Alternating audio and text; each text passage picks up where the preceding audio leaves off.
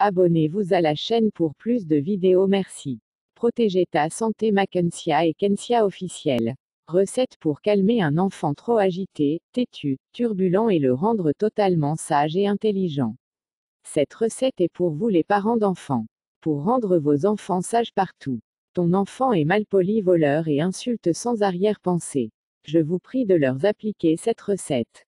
Ingrédients. 21 feuilles fraîches de corosolier. 21 feuilles sèches tombées par terre du corosolier. Une quantité suffisante d'eau de robinet ou marigot. Préparation. Faites la décoction de la feuille, c'est-à-dire ajoutez l'eau et préparez comme tisane. Parenthèse fermente. Point. Laissez refroidir. Utilisation. Se servir de cette eau pour laver l'enfant au moins 5 fois par semaine. Pendant 2 à 3 semaines. Si tu aimes ta santé like, share, comment.